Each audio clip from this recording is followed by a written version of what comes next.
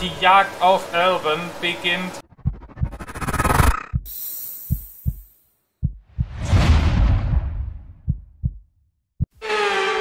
Startausstellung für den Grand Prix der USA, der Grand Prix von Austin, Texas steht bevor. Pole Position für Max Verstappen vor Carlos Sainz. Es ist nicht Albon, der in der Top 2 steht und das ist dann fast schon ein Novum, wenn wir mal Gridstrafen rausrechnen. Aber ich vermute, dass es hier auch darauf rauslaufen wird, denn wir haben Norris und Alonso auf 3 und 4 vor Russell und Perez, Gasly auf der 7 vor Stroll auf der 8.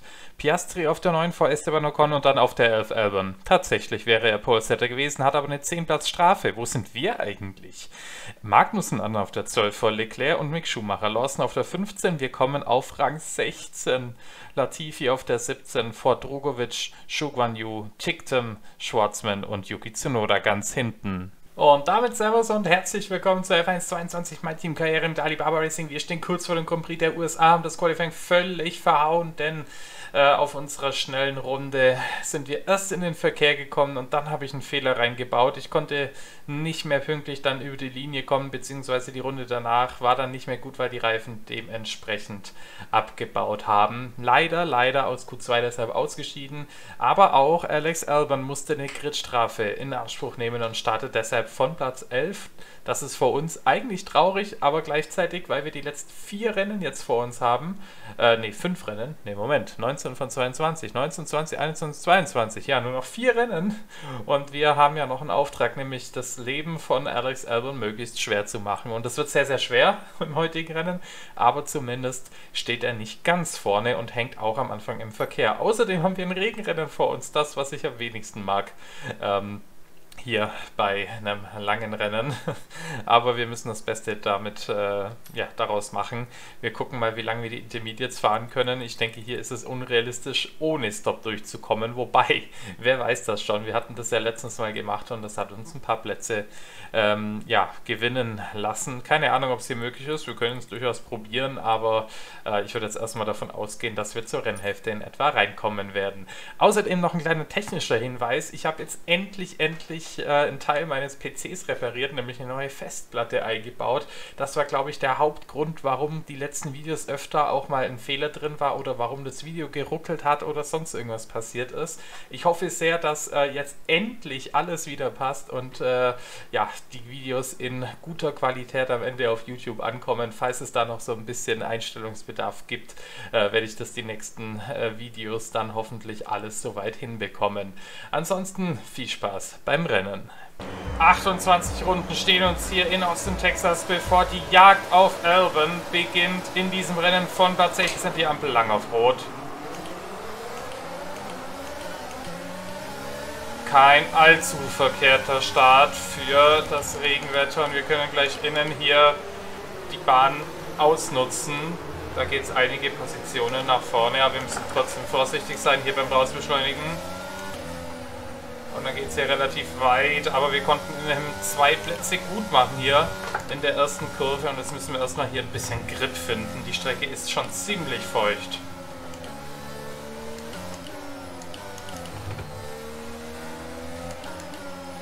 Ja, die Autos da vorne ist sehr nah beieinander. Boah, leichter Kontakt mit Leclerc, da habe ich ein bisschen zu viel Schwung reingebracht in diese Kurve, aber nichts Schlimmes passiert. Da vorne Albon steht aus und auch wir können auf Leclerc angreifen und dafür macht hier Magnussen zu und Albon hat in dieser Kurve da vorne, glaube ich, drei Autos überholt. Wahnsinn! Der hat auf jeden Fall auch einen Auftrag. Wir kommen leider nicht gut raus auf die Gerade, können aber Leclerc angreifen. Schumacher versucht es auch noch. Gibt es Kontakt hinten. Aber wir konnten Platz 13 jetzt erobern.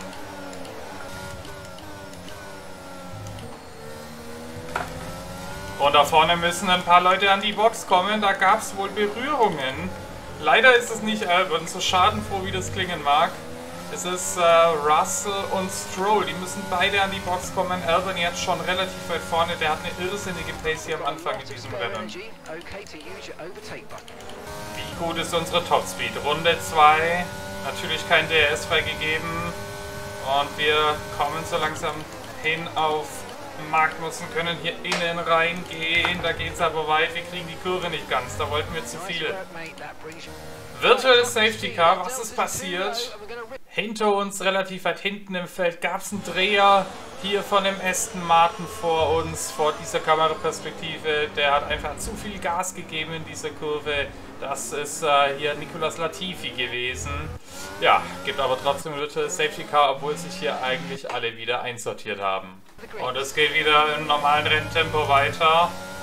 Wieder grüne Flaggen und wir müssen jetzt wieder hier die Rennpace finden. Magnussen schon mit Großmann schon nach vorne, aber wir können noch nicht wirklich äh, angreifen. Klar, das war jetzt ja aufgrund der Safety Car Phase, aber ich glaube, es wird wie immer schwierig werden hier im Regen und in den USA spät gebremst. Hier müssen wir aufpassen, nicht, dass uns der Schuhmacher ins Auto fährt.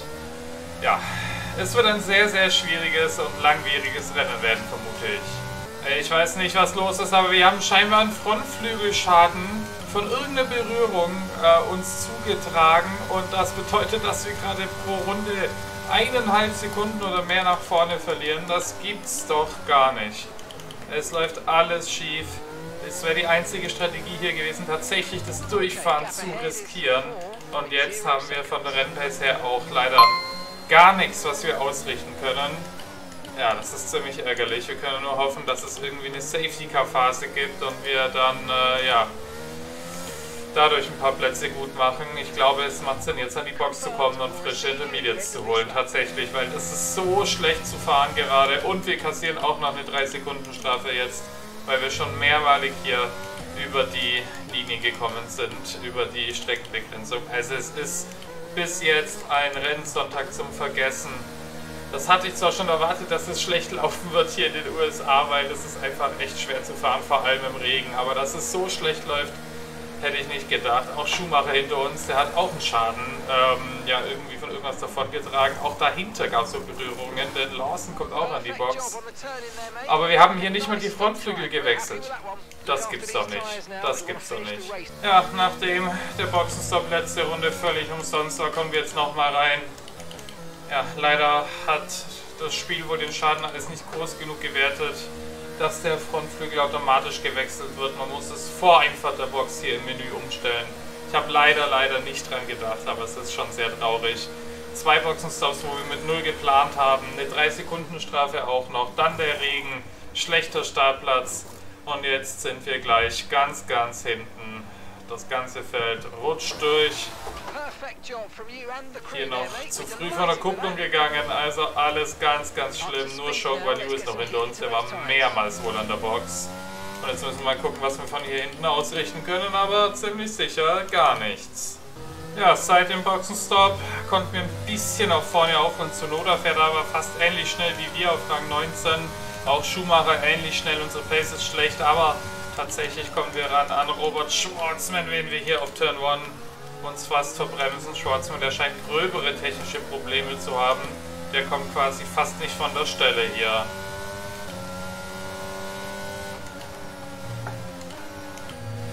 Ja, sehr langsam hier in den schnellen Kurven. Da können wir sogar außenrum vorbeifahren und das, obwohl wir in aller Regel in dieser Sektion sehr, sehr langsam sind im Vergleich zur KI, zur Konkurrenz. Vorbei an Schwarzman hier gegenlenken nochmal gegenlenken und schon wieder sind 7 Sekunden Rückstand auf Yuki Tsunoda. Ja, und es ist ein einsamer mittlerer Stint bzw. mittlerer Teil des Rennens.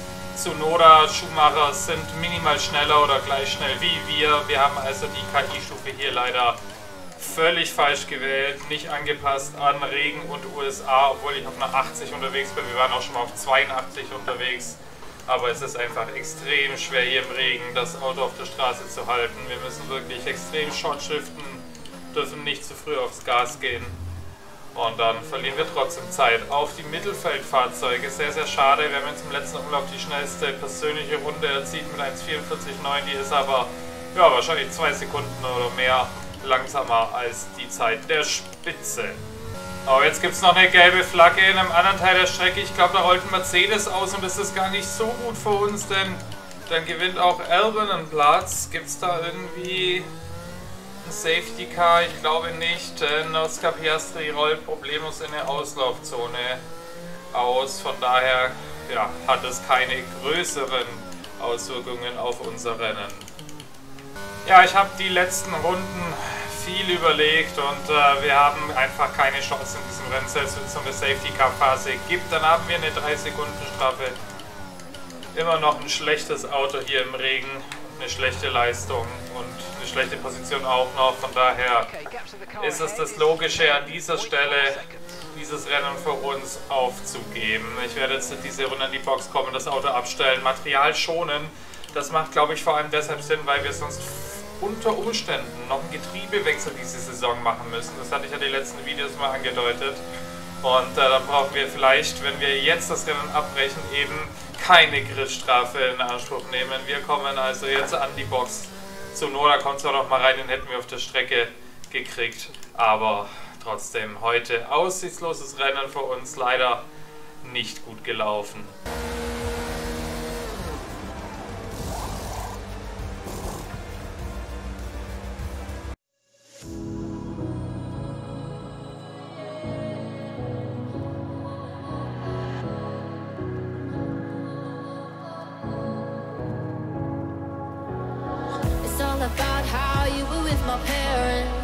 never changed their mind. Cause you were sweet and looking like you care, boy That was hard to find. I caught feelings, I caught these feelings. I caught feelings, I caught these feelings.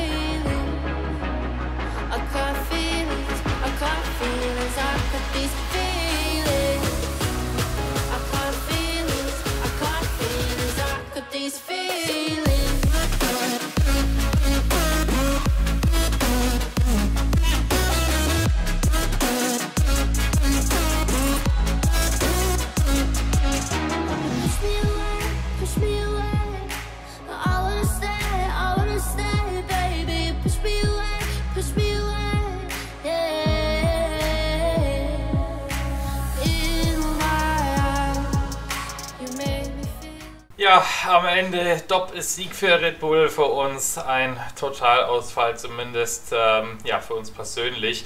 Die Red Bull haben es beide wieder ohne Stopp bis ans Ende durchgeschafft. Von daher wäre das auf jeden Fall heute auch möglich gewesen. Wir haben damit Norris hinter sich halten können. Die beiden Red Bull, also äh, Doppelsieg mal wieder. Und Albon hat es am Ende sogar bis auf Platz 4 noch nach vorne geschafft, ist noch vorbeigekommen an Gasly, Alonso und Sainz. Von daher hat er da heute so ein bisschen seine Punkte maximiert. Bei der Alpine auf 7 und 8 in den Punkten. Magnussen mit zwei Punkten heute wertvolle Punkte im Kampf um die Mittelfeldplatzierungen für Alpha Tauri. Stroll wird dann noch Zehnter und Russell ebenfalls ähm, mit zwei Stops dann knapp dahinter. Keine Punkte für Mercedes in diesem Rennen also. Das bedeutet in der Gesamtrangliste, dass wir auf jeden Fall erstmal hinter Verstappen zurückfallen. Das ist echt schmerzhaft. Äh, nachdem wir jetzt die letzten zwei Rennen äh, nicht so wirklich äh, gepunktet haben. Ja, was sollen wir da nur machen? Alban 59 Punkte weg. Ich würde mal sagen, das ist gegessen. Ich denke, Alban hat den Fahrertitel so gut wie sicher, wenn er nicht in jedem der letzten paar Rennen ausscheidet. Norris äh, währenddessen wieder zurück auf Platz 4, ist an Alonso vorbeigegangen. Ansonsten gab es unten auch noch eine Verschiebung. Pierre Gasly hat es sogar geschafft, jetzt George Russell hinter sich zu lassen. Mercedes gegen Alpine, gibt das etwa doch noch den Kampf? Das ist die Frage, die sich hier äh, stellt. Bei der Konstrukteursrangliste, während wir da vorne relativ sicher sind und Red Bull auch auf Platz 2, ist höchstens Ferrari gegen McLaren noch eine Baustelle, sowie Mercedes gegen Alpine, die sich nur noch um 8 Punkte unterscheiden. Und Alpha Tauri heute mit den zwei Punkten von Magnussen baut sich ein winzig kleines Polster gegenüber Alfa Romeo auf. Ja, was passiert jetzt noch? Wir haben drei Rennen vor uns und äh, in Brasilien gibt es natürlich noch das Sprintrennen. Das heißt, es gibt maximal 3x26 plus 8 Punkte zu holen. Das sollten nach meiner Rechnung 86 Punkte maximal sein. Ich glaube, ich habe mich nicht verrechnet. Das müsste passen, inklusive schnellster Runden auch. Ähm, und äh, das heißt wiederum, dass wir auf jeden Fall noch rechnerisch die Chance haben, ganz vorzukommen, aber dafür muss bei Albon schon alles schief gehen in den nächsten drei Rennen und das ist natürlich sehr unwahrscheinlich und unrealistisch. Aber ich denke, dass äh, wir auf jeden Fall um Verstappen noch um den Vizetitel kämpfen werden und auch müssen, nachdem der die letzten beiden Rennen gewonnen hat.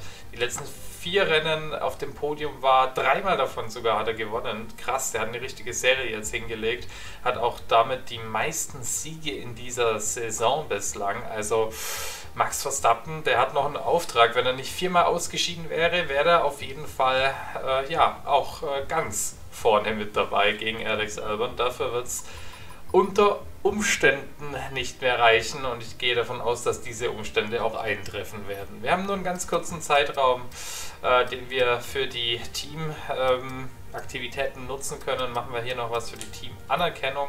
Da haben wir immer noch nur den Stand Level 23. Da darf noch ein bisschen was ja, nach vorne gehen. Ansonsten müssen wir mal uns orientieren, ob es noch was zu tun gibt. Aber ich denke, dadurch, dass wir jetzt hier früher ausgeschieden sind, könnte es sein, dass wir mit dem Getriebe noch durchkommen. Ich hoffe halt nicht, dass das gerade im letzten Rennen dann noch hochgeht. Das wäre natürlich sehr, sehr kritisch. Wir müssen mal gucken, wie sich das Ganze noch entwickelt. Aber ansonsten können wir leider von hier aus gerade nichts mehr tun, außer hoffen, dass wir in den letzten drei Rennen eine extrem gute Serie hinlegen, um zumindest den Vizetitel zu holen oder nochmal Albon ein bisschen gefährlich werden zu können. Ich würde sagen, vielen Dank fürs Einschalten. Sorry, dass das heute so ein schlechtes Rennen war. Das nächste Rennen wird auf jeden Fall besser. Dafür lege ich meine Hand ins Feuer. Ich würde sagen, wir sehen uns dann in Mexiko. Bis dahin, macht's gut, ciao und Servus. So ihr Lieben, wenn euch das Video gefallen hat, dann lasst doch bitte den Daumen nach oben da, abonniert den Channel und dann sehen wir uns beim nächsten Mal wieder. Macht's gut bis dahin. Ciao und Servus.